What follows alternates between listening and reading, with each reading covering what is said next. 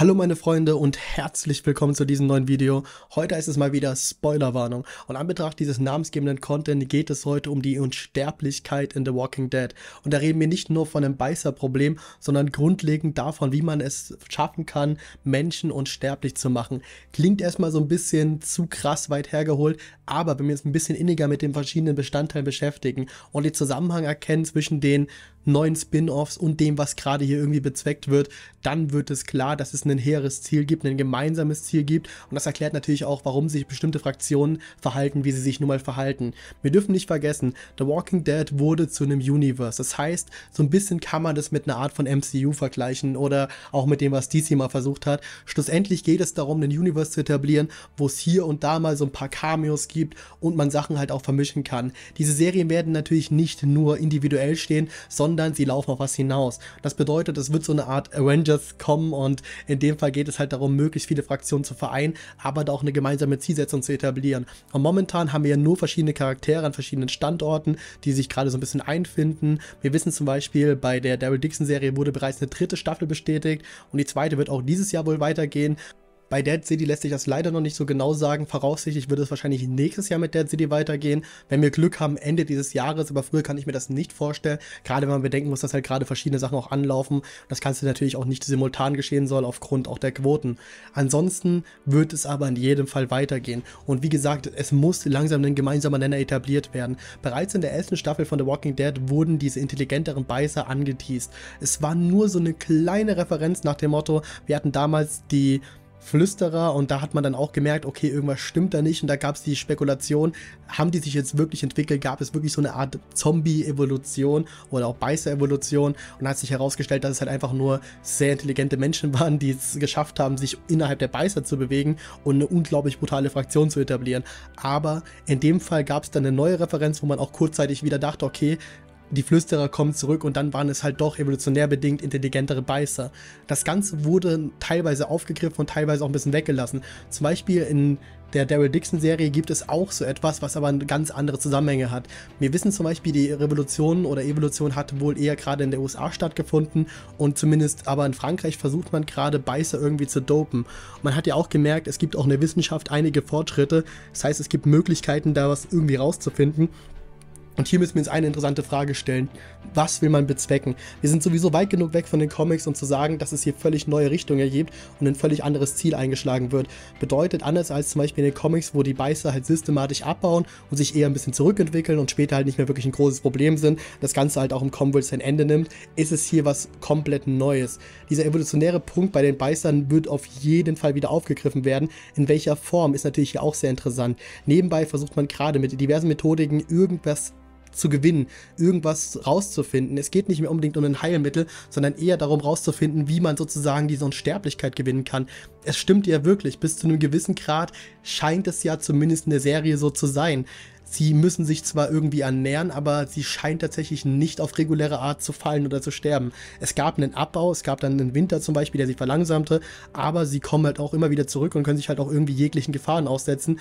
Und man hat ja auch bei The World Beyond gemerkt, dass es da wohl auch in so eine Richtung geht, wo man versucht, die Forschung so weit voranzutreiben, dass man das Ganze gewinnbringend nutzen kann. Und wir müssen uns die Frage stellen, warum ist CRM gerade dabei, systematische Leute umzubringen? Wir haben es jetzt in der zweiten Folge von The Ones to Live nochmal gesehen.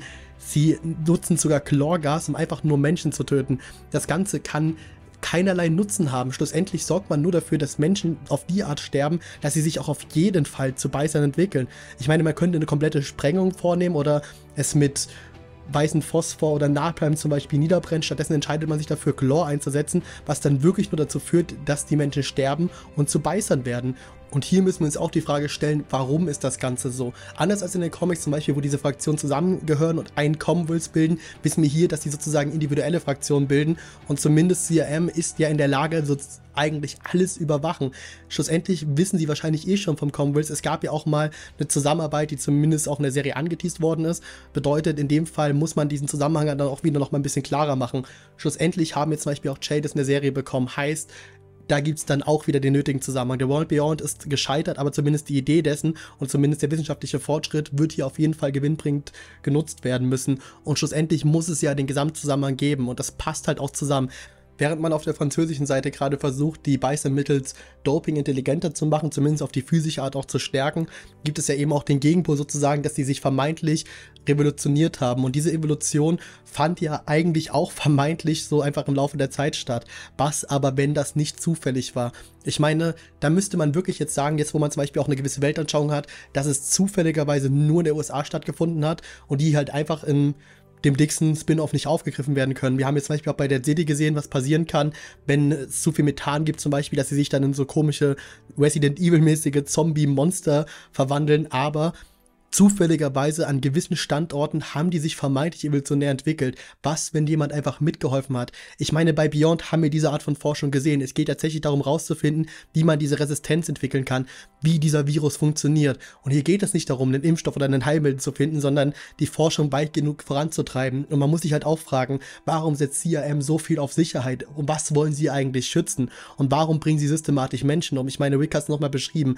Die roten Leute scheinen wohl einfach loszugehen und kommen blutüberströmt kommt zurück und keiner weiß genau, was sie getan haben. Hier geht es halt einfach wirklich nur um eine Art von Massenmord.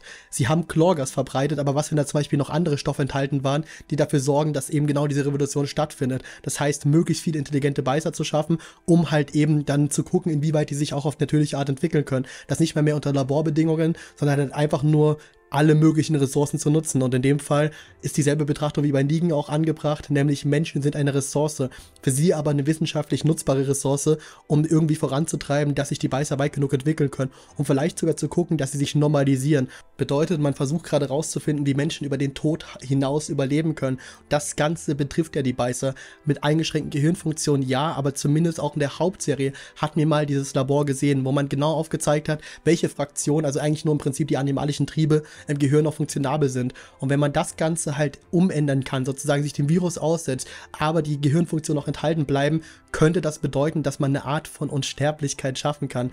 Und das Ganze ist für mich der Gesamtzusammenhang. Das Ganze ist für mich die einzige Methodik zu erklären, wie man es weiterführen könnte, ohne es immer wieder auf die Zombies dann zurückzuführen. Und schlussendlich wäre es dann einfach nur ein grundlegendes Beißerproblem und die Serie würde damit zu Ende gehen. Der Gesamtzusammenhang würde sich nur damit erschließen, dass man dann zum Beispiel gemeinsam gegen die Fraktion sozusagen CRM vorgeht geht.